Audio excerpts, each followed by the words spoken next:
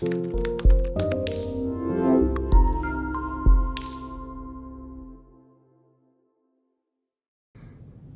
and welcome to Fractal Model 24.6.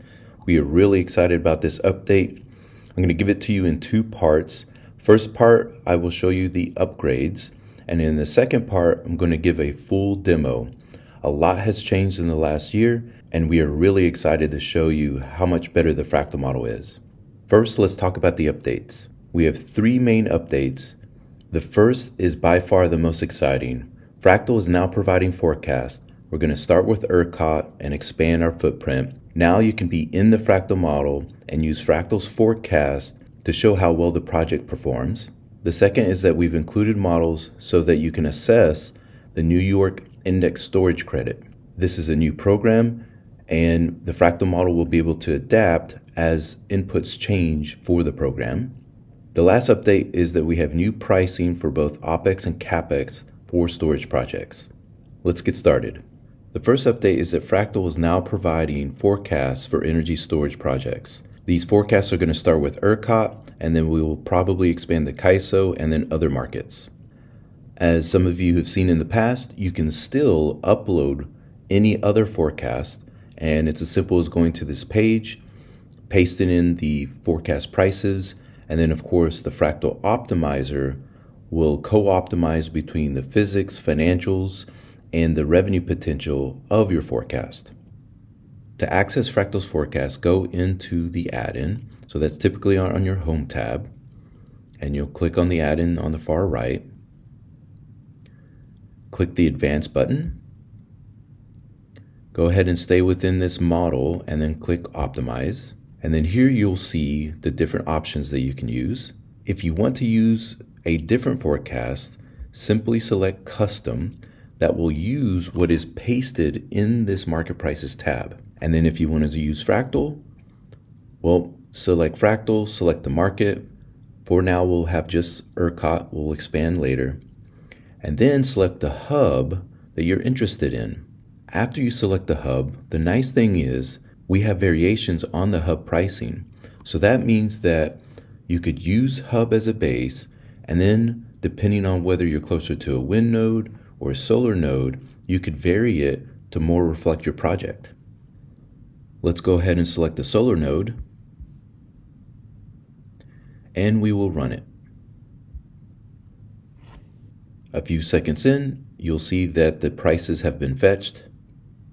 And after a few minutes, the fractal model has finished the optimization. Remember, we are co-optimizing between the physics, the financials, and the revenue meaning that we're accounting for things like round trip efficiency, we're accounting for things like degradation, cost of aux load, and then we're mixing that and finding the best dispatch schedule given the revenue potential. So if we go back to the home screen, we can see what the dispatch looks like. We can see how the revenue changes over the course of the life. And the biggest change is that there's less and less ancillaries that you can take advantage of. And also keep in mind, you can choose whether to have a perfect strategy or to trade it with other types of strategies that are either less perfect or more real world, maybe like how a trader would perform. What's important to note is that Fractal's forecasts are in our server, so you can use the Fractal forecast and you don't have to pay extra for them. So they remain separate from anything that's in the fractal model that may be yours or just loaded as an example. The nice thing is, if you would like to purchase Fractal's forecasts, you can do so separately and then you own those, they're in your possession. The nice thing is you can use Fractal's forecasts as long as you're a subscriber to the model, and then maybe later for financing purposes, you'll take possession of them. Now let's talk about the second update for the New York models. For the New York models, the most important thing is what's in this new New York ISC math tab. In this tab, you can input the different parameters that this program will have. Whoever's modeling this program will need to add their perspective of where they think capacity prices will clear and then their strategy for the strike prices. After that's done, Fractal can then co optimize with the market prices that are put in for the other services, namely energy and maybe some ancillaries. Afterward, you could go back through the tabs You can change up project sizing. You can change up different inputs like augmentation, different chemistries. Uh, but now you can co optimize with the New York program. The last update is that we have new pricing for CapEx and also updates for OpEx. If you go into the project cost tab, the fractal price calculator here has been updated. This is using all of the newest data that we've gathered by helping people run procurements. This is combined with the OPEX estimates that we have in the cost schedule tab. Those are the updates for Fractal Model 24.6. We are really excited about the price forecast. This will enable you, whether you are a developer or whether you are a financier, to have Fractal's view of where prices are going to be. Plus, you can have unlimited sensitivity on what if something changes, what if the sizing's different, what if the market's different. All that can be controlled by using the fractal model. No more black box models. If you have any questions about the updates, please reach out. We are happy to answer any questions. And if you would like to stick around to view the full walkthrough, I'll do that next. Otherwise, thank you so much. Reach out to us if you'd like a demo and have a great day. Thank you for sticking around. Now we'll go through a full walkthrough of the fractal model. We'll do some scenarios, we'll do some sensitivities, and we'll talk about how we can leverage all the powerful features that the fractal model has. First, let's go over the main tabs. So in this tab, the dashboard, this is where you put in project features, things like sizing, things like the market, but also it shows you an overview of the financial performance, and you can put your inputs for how you want to model, whether you want to see the perfect performance or if you want to see something a little bit more realistic. The next tab is where you put in your CapEx, and you can put in milestone payments for CapEx. This means that you can account for your different payment milestones for equipment and to your EPC. Next, you can do your OPEX, and here we have recommendations, but it's very easy for you to put in your own escalators and maybe any step changes, whether that's increases in warranty costs, performance guarantees, or insurance. The next is the battery tab, where you can account for things like oversizing, different types of chemistry and how they degrade. And then if you're really advanced, you can either customize the degradation curve or you can hard code it given the curve from the vendor. Next in the POI tab, and this is relevant if you have a restrictive POI, and especially if you're doing solar plus storage, wind plus storage, here you can input that behavior.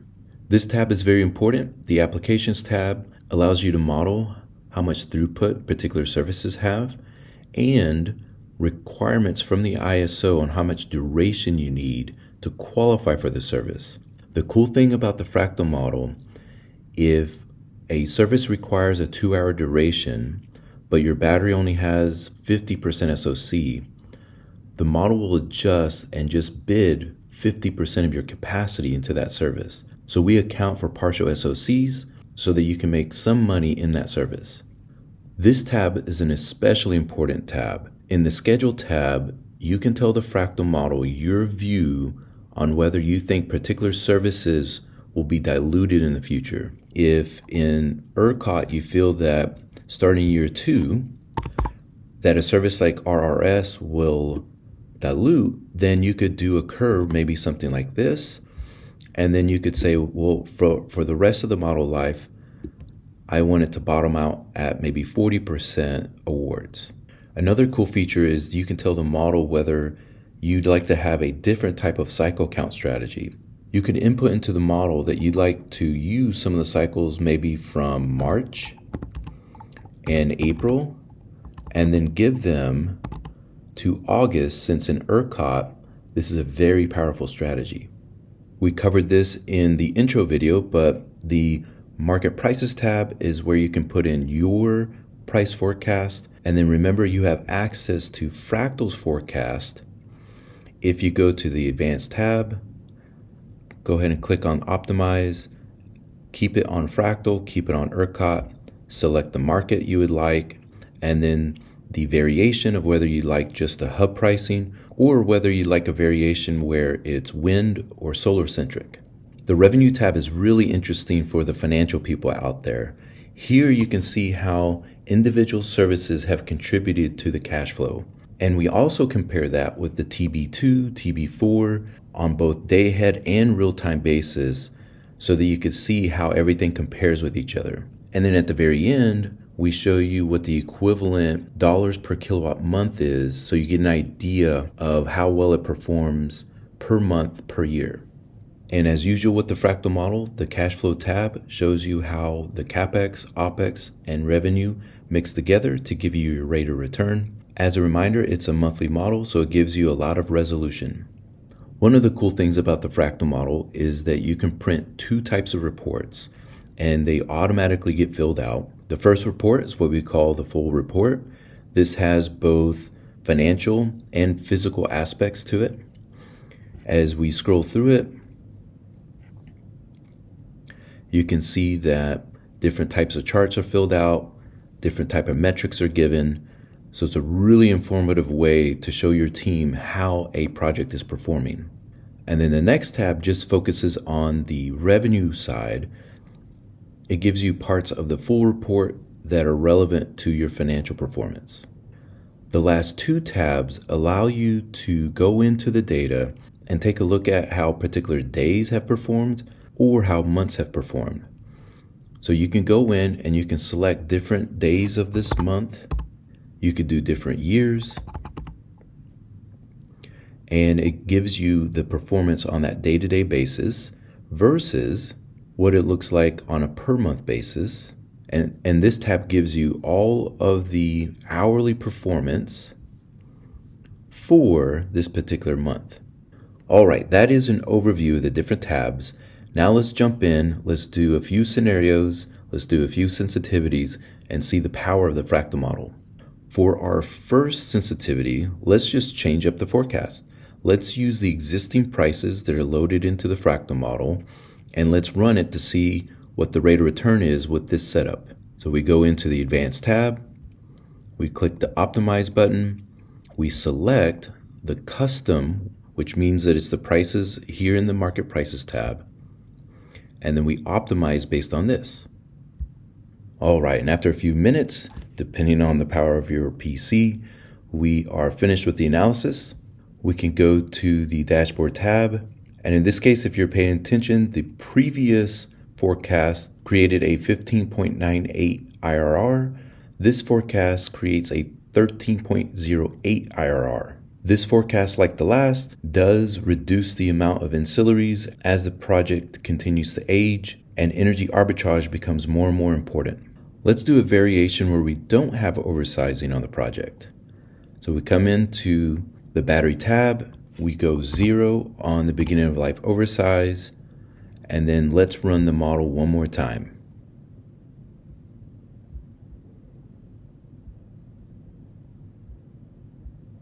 We'll click custom and then we'll start the optimization. All right, and after a couple minutes, we are done. Let's take a look at the results. And in this case, what's interesting is with this price forecast and with the cost of CapEx and OpEx, it does not like doing a beginning of life oversize. The rate of return goes from 13.08 to 14.66. Let's see what happens if we run a strategy that isn't perfect what we might call persistence. So this just means that it's a trend where we take a look at what's happened in the last few days and bid that going forward. So it's more of what a trader would do. But before you hit the optimize button, remember to hit the set strategy button. This changes the parameters in the back end of the fractal model so that it runs persistence correctly. So let's do the analysis. And after a couple minutes, we are finished with the analysis. Now, this is a very different result. The rate of return went from 14.66 to 8.9. This shows that the perfect strategy was just very lucrative uh, and that a more achievable, I would say, real world strategy will probably give you a lot less return. What this tells you about the pricing is that the forecast has a lot of variability built in. And if you have a godlike strategy, if, if you have clairvoyant knowledge of the market, well, the revenue could be really good. But in ERCOT, it's actually very difficult to achieve perfect. Most of the predictive analytic firms that are doing optimization, they're achieving between 75 and 85% of perfect. So you can see the result on the rate of return. Let's do another variation where the ancillary services, not just RRS as we have highlighted here, uh, but the other ancillary services also dilute. So let's just copy the dilution in RRS to the other services. And let's run this model.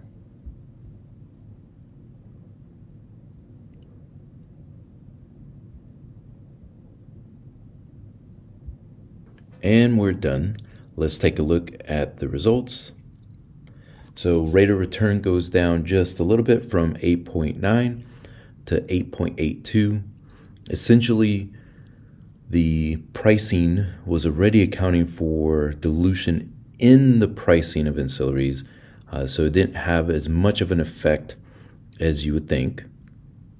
Now let's see what happens if you're not allowed to borrow from months and give to others. So let's make all the cycle count one cycle per day max. So we're going to take off the fact that we were borrowing cycles from March and April and giving them to August. Let's just make them all straight. And let's run it. All right, and after a couple minutes, we are finished. Let's take a look at the results. And I would say that the results are somewhat counterintuitive, but the price forecasts must have some value in those two months, March and April, where it's not worth taking away cycles uh, and giving them to August, uh, but a different data set could give you different results. One other variation we could try is to alter capex and see how that affects the rate of return.